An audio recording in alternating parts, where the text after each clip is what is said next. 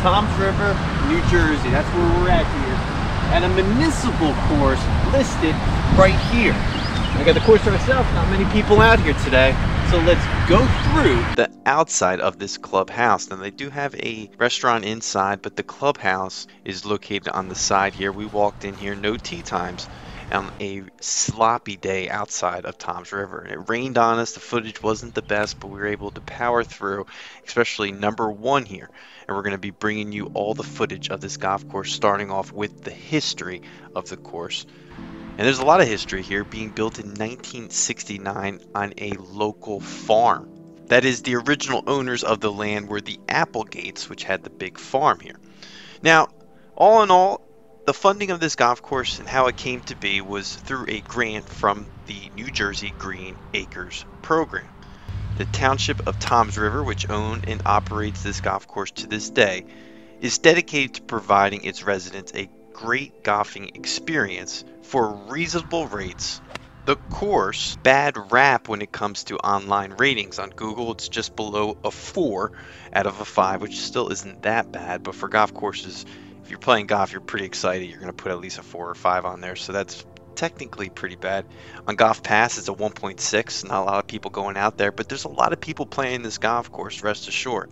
And being a municipal course, the price is right comparing it to other golf courses.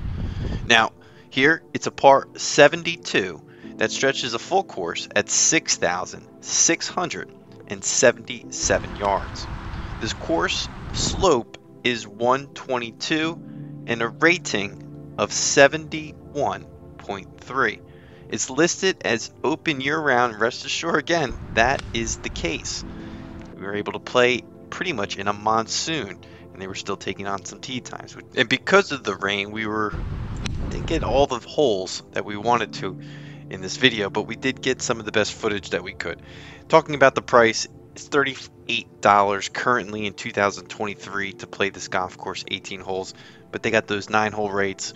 They also have a ton of other discounts, seniors, uh, police and fire, all these other municipal type rates along with memberships that are going to be well worth it if you're near the area. Looks like the most expensive rate is the non-resident weekend and holidays at $41, which still is extremely reasonable. Seniors 23 bucks, non-resident 34 on the weekdays.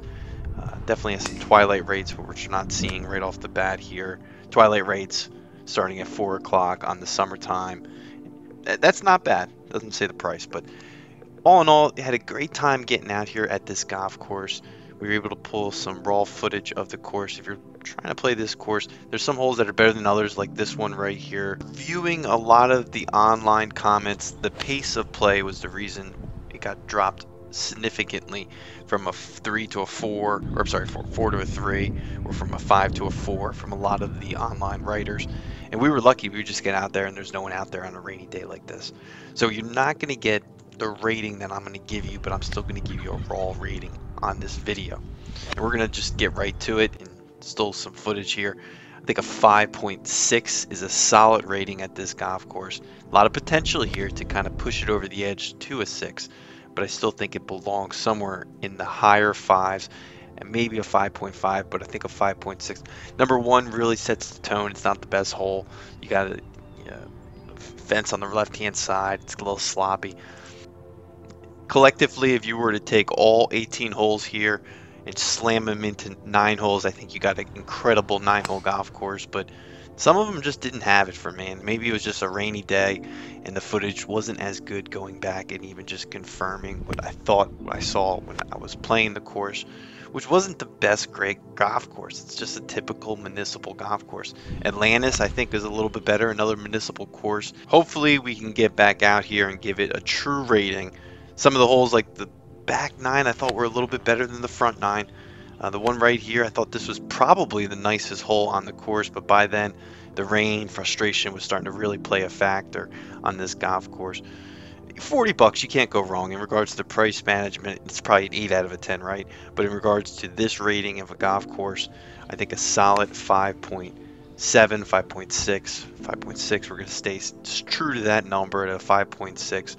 Get out here, play this golf course. Let us know if we got the score wrong or if the course is even in better shape. We're consistently playing more golf courses around the area and we're targeting these $40 golf courses. Hey, someone's got to play them, someone's got to show footage, and most of the time it's not as good as the footage you're going to see from that golf club. We're showing you that independent golf footage here. That's why we need you to subscribe. Keep a lookout for more videos to come. This is Go fly. Golf. Launch control, this is Houston. We are go for launch.